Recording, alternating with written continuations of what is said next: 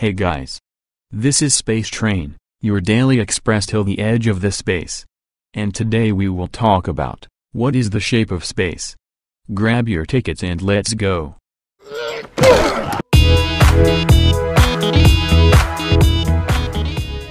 Our train will explore the whole universe to find answers to some important questions. So make sure you have subscribed to get unlimited pass on our expedition. The shape of space The curvature of space is not the only thing we have deep questions about when it comes to the nature of space. Once you accept that space is not an infinite void but rather a maybe infinite physical thing with properties, you can ask all kinds of strange questions about it. For example, what is the size and shape of space? The size and shape of space tell us how much space there is and how it is connected to itself. You might think that since space is flat, and not shaped like a potato or a horse saddle, or a potato on a horse saddle, the idea of the size and shape of space makes no sense. After all, if space is flat, it means that it must go on forever, right? Not necessarily. Space can be flat and infinite. Or it could be flat and have an edge to it. Or, even stranger, it could be flat and still loop around itself. How can space have an edge? Actually, there's no reason why space can't have a boundary even if it is flat. For example, a disk is a flat two-dimensional surface with a smooth continuous edge. Perhaps three-dimensional space also has a boundary at some point thanks to some strange geometric property at its edges. Even more intriguing is the possibility that space can be flat and still loop around itself. It would be like playing one of those video games, like Asteroids or Pac-Man where if you move beyond the edge of the screen you simply appear on the other side. Space might be able to connect with itself in some way that we are not completely aware of yet. For example, wormholes are theoretical predictions of general relativity. In a wormhole, two different points in space that are far apart can be connected to each other. What if the edges of space are all connected together in a similar way? We have no idea. Quantum space finally, you can ask whether space is actually made up of tiny discrete bits of space, like the pixels on a TV screen, or infinitely smooth, such that there are an infinite number of places you can be between two points in space. Scientists in ancient times might not have imagined that air is made up of tiny discrete molecules. After all, air appears to be continuous. It acts to fill any volume and it has interesting dynamical properties, like wind and weather. Yet we know that all these things we love about air, how it brushes gently against your cheek in a cool summer breeze or how it keeps us from asphyxiating, are actually the combined behavior of billions of individual air molecules, not the fundamental properties of the individual molecules themselves. The smooth space scenario would appear to make more sense to us. After all, our experience of moving through space is that we glide through it in an easy, continuous way.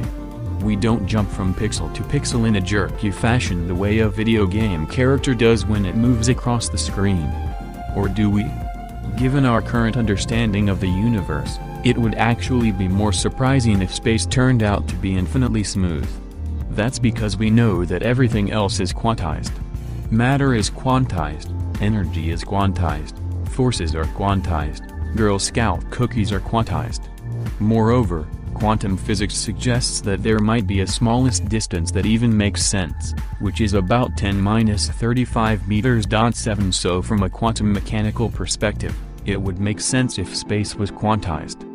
But, again, we really have no idea. But having no idea hasn't stopped physicists from imagining crazy possibilities.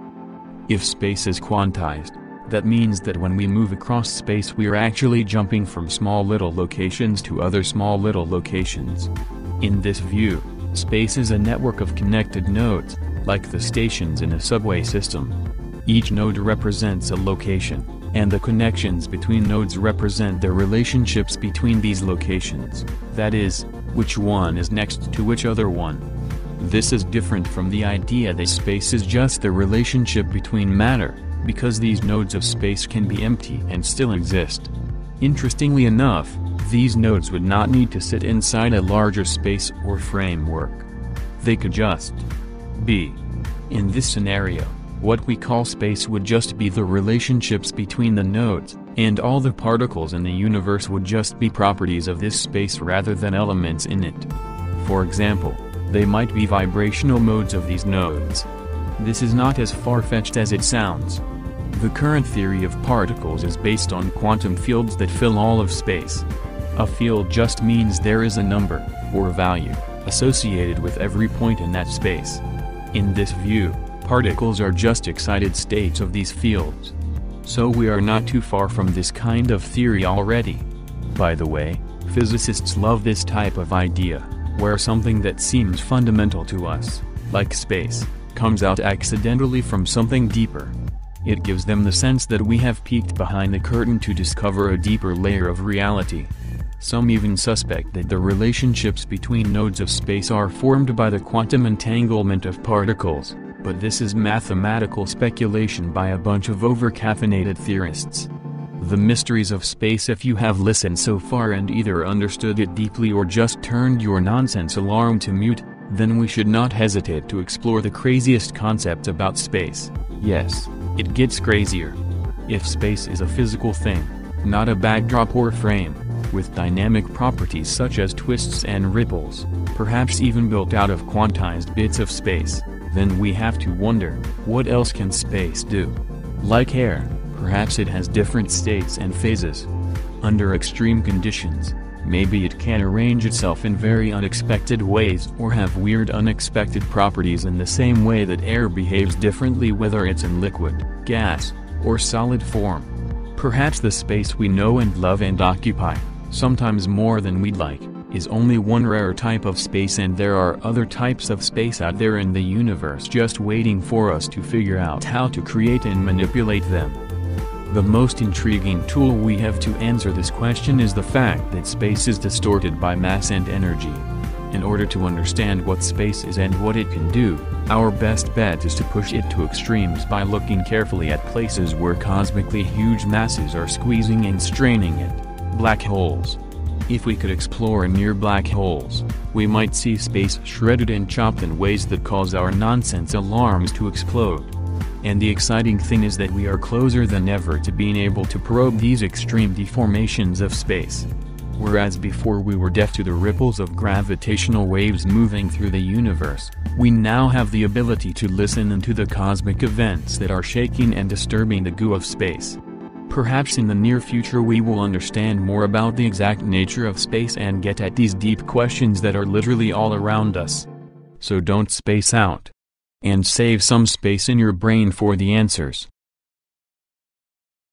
I hope you enjoyed this video.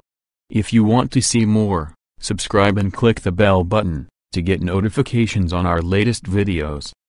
If you are still here, grab your knowledge and get out of my train.